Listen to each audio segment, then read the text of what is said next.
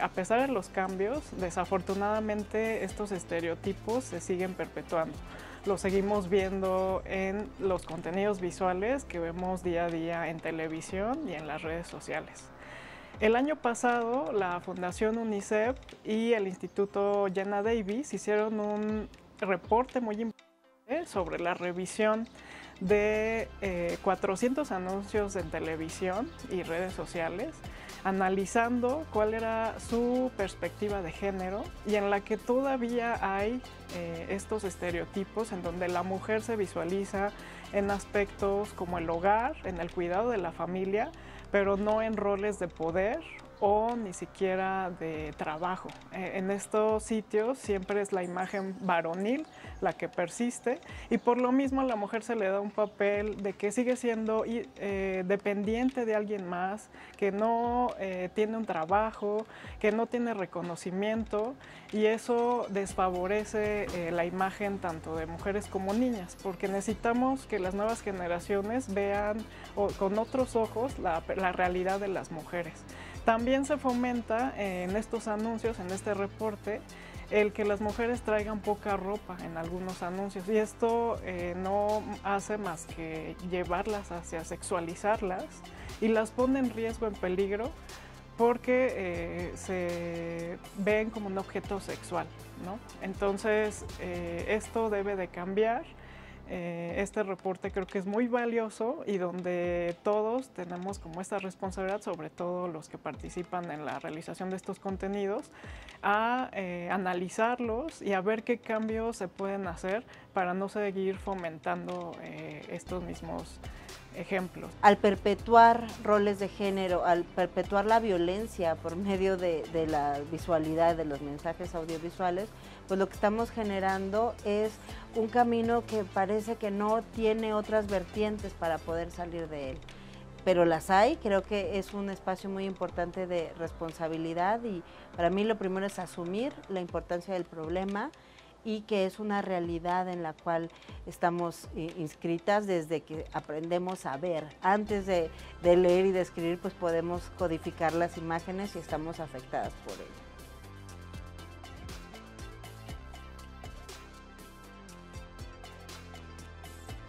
Yo creo que hay estrategias importantes que se pueden hacer para darle un papel más justo a la mujer, eh, que sí tenga una representación mucho más eh, poderosa, eh, justa y que no se fomente hacia la violencia. Creo que es importante que las marcas escuchen más a sus audiencias, eh, que están ahora las nuevas generaciones más interesados en que la marca se involucre en temas sociales y que tengan realmente un impacto en la sociedad. La empresa o marca Nike Internacional que ha fomentado con distintos anuncios, uno que habla sobre la maternidad eh, que ejercen las atletas, estas mujeres o atletas poderosas, en el que sale Serena Williams con su hija como ejemplo, pero en el que fomenta que no tienen por qué dejar lo que más les apasiona, sino que se ven fuertes. Otro ejemplo también es un anuncio que hicieron para el 8 de marzo, muy importante, en el que se visibiliza a las mujeres deportistas eh, como fuertes, activas, poderosas y ellas mencionan en este anuncio, o, el lenguaje y discurso, es que no necesitan un día solo para ser visibilizadas. Ellas pueden ser fuertes y con esa energía durante todo el año. Otra marca que también apostó por todo y cambió sus estrategias de comunicación es la marca Dove, en el que representa a las mujeres con cuerpos reales no solo eso, sino que trabaja con especialistas, hacen análisis, escuchan a sus audiencias y lo que se dieron cuenta es que el 80% de las mujeres tiene estos problemas de identidad con su cuerpo y en el que ellos apostaron con otro anuncio muy reciente en el que hacen estos sketches de mujeres en donde ellas se representan a sí mismas y donde otra persona las visualiza de manera muy distinta, en donde valora realmente cómo son y hay esta diferencia en que muchas veces tenemos una perspectiva muy eh, baja o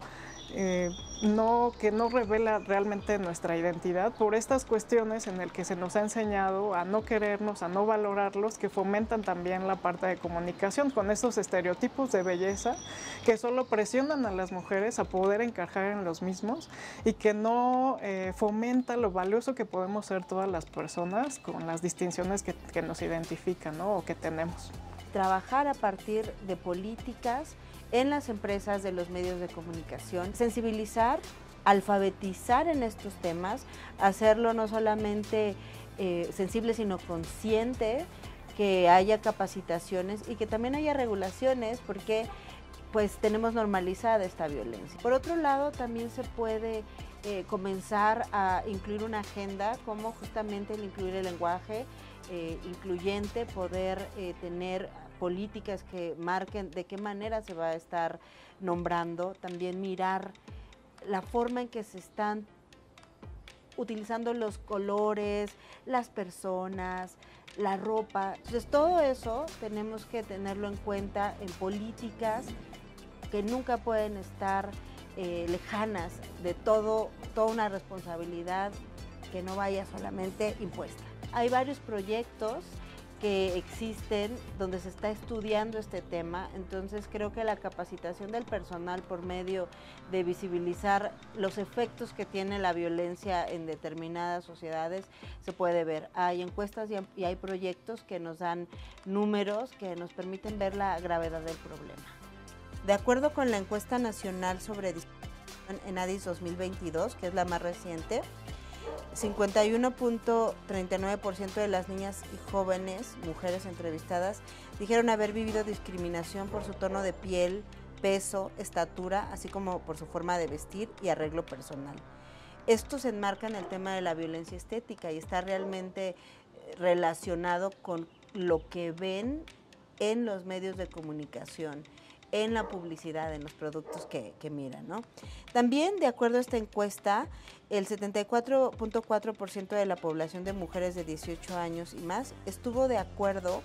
en que la libre decisión de las mujeres sobre su cuerpo es mal vista por la sociedad, mientras que el 46.8% estuvo de acuerdo en que lo más importante para una mujer es ser madre. Si la forma de representación de las mujeres es a partir de los roles de cuidado y no de sus labores como profesionales, como sujetos activos de su vida, sino quien se encarga de cuidar a niños o a papás o a, su entorno, pues entonces también ahí estamos dando un mensaje de deber ser que está perpetuado. También esta encuesta nos comenta que el 49.7% de la población de 18 años y más reconoce tener un tono de piel intermedia situada entre los puntos F y G de la lista que estamos mostrando de las gráficas. Por otro lado, un 29.2 manifestó tener un tono de piel más clara de lo que pues en realidad su tono tiene, ¿no? Y que estaría situada entre el H y el K. Y el 21.1 declaró tener un tono de piel más oscura, situado entre el A y E. ¿Qué tiene que ver esto? ¿no? Además podemos hablar de temas de maquillajes, de temas de filtros, que es algo que no hemos estado hablando. Cuando nosotros nos estamos comunicando, sea con nuestra familia, con amigos que conocemos, utilizamos ciertos filtros porque pues hay una violencia simbólica en cómo reconocemos nuestra imagen a través de las cámaras. Y todavía más cuando estamos comunicándonos con alguien que no nos conoce físicamente, pues esos filtros pierden totalmente ya eh, cualquier medición. Entonces todo esto pues impacta en nuestra autopercepción, ¿no? en la autopercepción de las personas. Sobre el proyecto Monitoreo Mundial de Medios, que es un proyecto internacional que va monitoreando los medios en cada país, eh, pues en México, en el último reporte publicado en el 2023, llama la atención que no hubo un cambio al monitoreo anterior que fue en el año 2015 porque la cobertura en medios a los temas de género pasó del 4 al 6%. Eso quiere decir que podemos ver noticias de violencia increciendo, pero noticias sobre género para entender este problema no tiene un cambio significativo. También las mujeres como sujetos en esta encuesta nos deja ver que son representadas en apenas 31% en la cobertura de los medios de comunicación.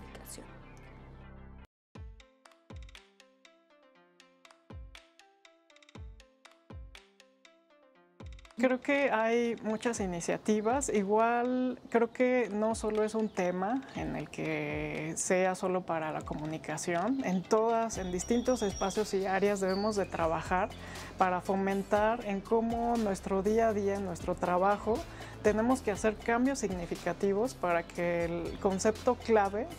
sea el género también dentro de las eh, cuestiones que desarrollamos. Entonces, eh, creo que una de las eh, propuestas sería la capacitación de su personal, en el que no solo la parte creativa, sino también en ventas, en administración, en el trato al cliente, sí se tenga una capacitación con perspectiva de género. También que se trabaje con especialistas, porque cada recurso gráfico que se elabora debe tener una temática en particular que debe trabajarse con gente que conozca sobre el tema y que tenga una línea especializada y que fomente también a, la equidad de género.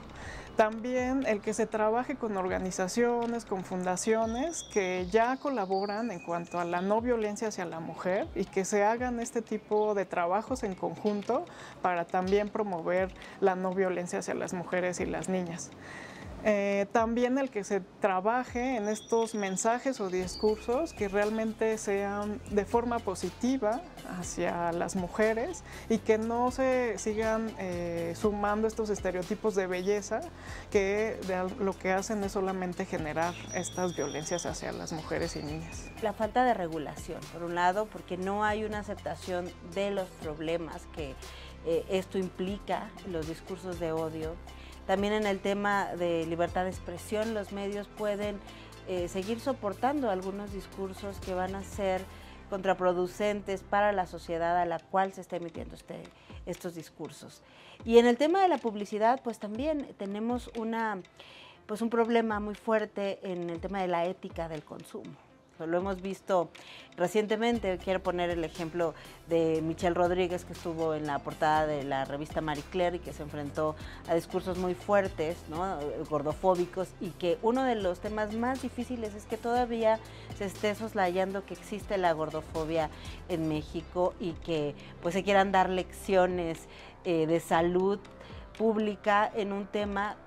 absolutamente estético en ese sentido. Todo eso sí debería de tener regulaciones muy claras y es un, pues una de las áreas de oportunidad que tenemos, pero como lo mencioné anteriormente, bueno, ya se ha ido caminando. Hay observatorios que están viendo la representación de las mujeres, por ejemplo, en los medios de comunicación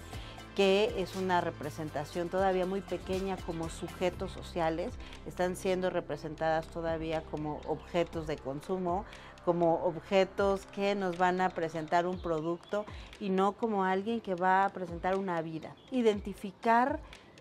cómo están funcionando las mujeres en esas empresas, desde qué roles también. Si están en roles creativos, que eso es algo que ha faltado mucho, pueden también identificar esas violencias porque están desde esas corporalidades. Pero si las mujeres están acompañando nada más en la parte técnica o en labores de cuidado que también están en estas empresas, pues va a ser muy difícil el, el visibilizarlo, ¿no?